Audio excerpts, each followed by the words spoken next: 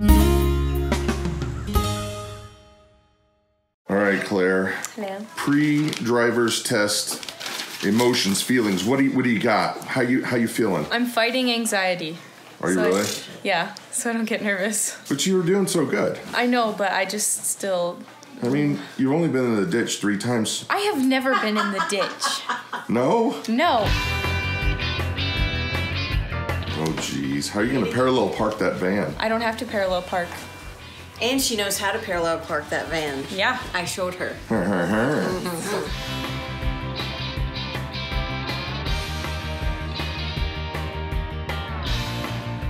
I'm actually nervous for her. Huh? She's out there getting ready to go. How do you think she's doing? Perfect. She's awesome. She's awesome, but she is mm-hmm. very nervous. She's very nervous. Uh, they all are, is what the gal said. They're all nervous, but she's gonna do great. I believe in her. Mm-hmm. She's back. All right. Sticker. Congratulations. Way to go, honey. All right, stuff to talk about. Congratulations.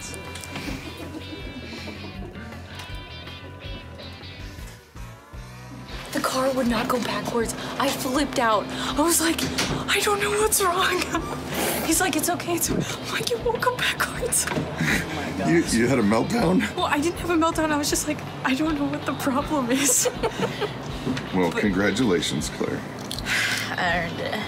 I earned it, she says. Earned it. So, driver, holy smokes. Do you have any idea the amount of freedom you're going to have now? Yes, I Yeah. do have an idea. Loads.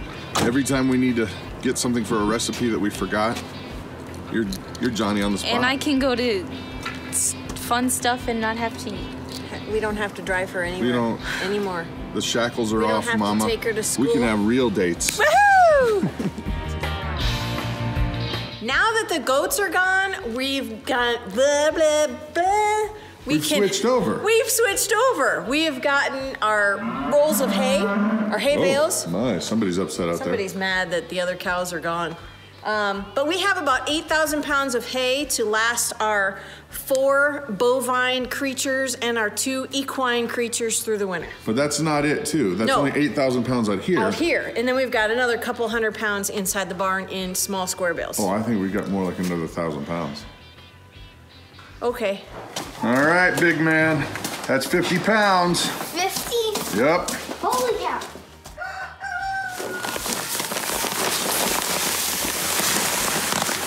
Feeding the rabbits. Yep. Getting, making sure they have water. Whoa! Uh-oh. We've sprung a sprung in a leak. Well, what I was gonna say is, Oh. even Ruthie has, even Ruthie has chores. Man. This is why it was broken. What was why? It, this, um, Oh. here.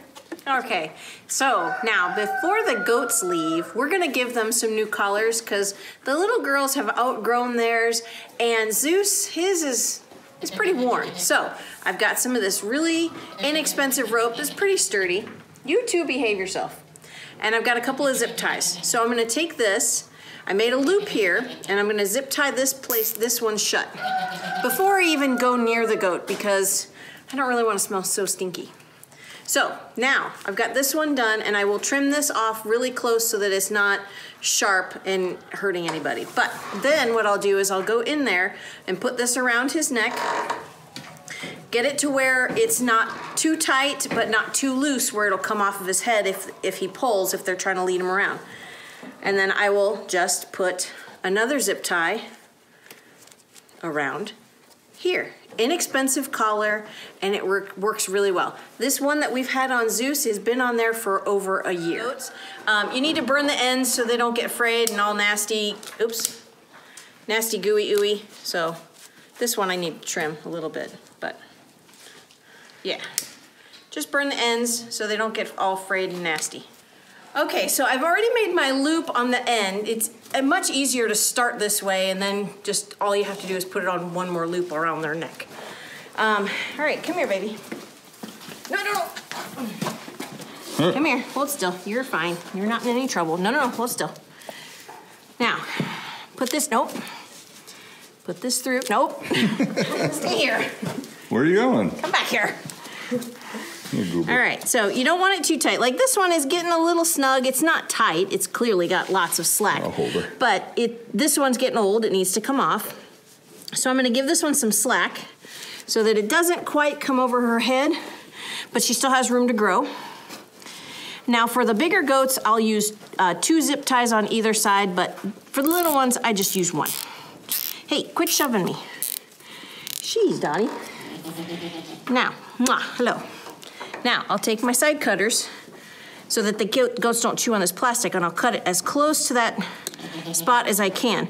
And that's not sharp in any way. It won't cut. It won't cut their skin through their hair at all. No, she's done. And she's done. I'll cut this old one off. And we're done. And there's also a small little lead.